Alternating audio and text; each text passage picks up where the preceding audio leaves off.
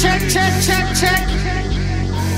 We not take back no check. You pep talk. Chickadee check, check, check, check. Hey girl, let's the shot.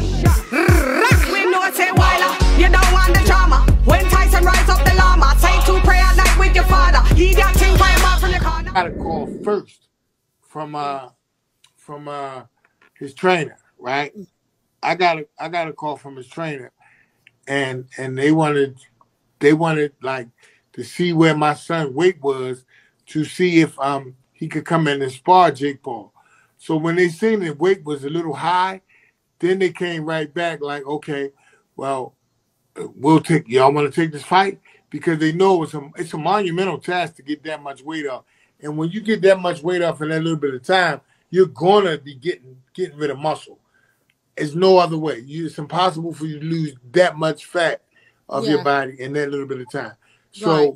so they know he would he would have been coming in a depleted version of himself from day one. That's why it was the bait and switch with the call from uh to find out whether they wanted him to come in and spar spar him because they they what they did to me was they called me asking me uh could he come in and spar him and help him get ready for Anderson Silva, right? So then when they found out what the weight was, oh man, it's impossible for him to get that kind of weight off in in in in, in, in less than a month. So let's let's just offer him the fight. So, you know, then um it became so many different problems with the weight. But they professional. Everybody in that corner is professional. They know it was going to be a monumental task for him to get that weight off from the jump. From the jump.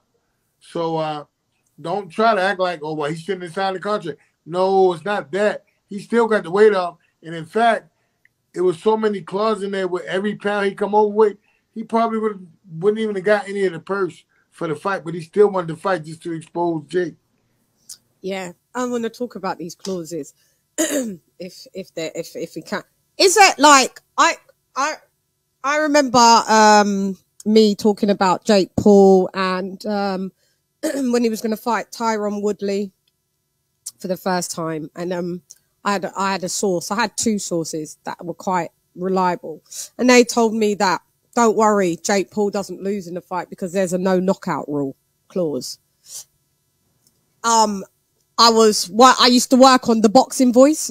Um and I and I expressed this to uh Ness on the boxing voice and he basically laughed at me and said, Oh, you stupid. That can that can never happen. Um would you like to I know don't work there, no no.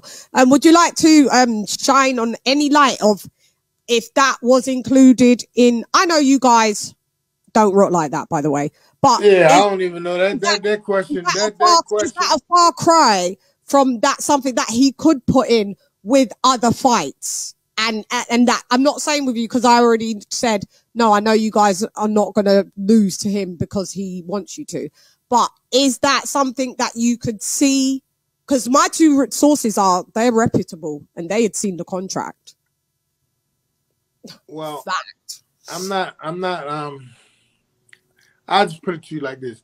Yeah, I wouldn't be shocked how far they stacked the deck in Jake's favor to win. I'm Got gonna just leave it at that. Got you. Got you. See? No, no. Okay, got you. And Check, check, check, check. Hey girl, let's lay the shot.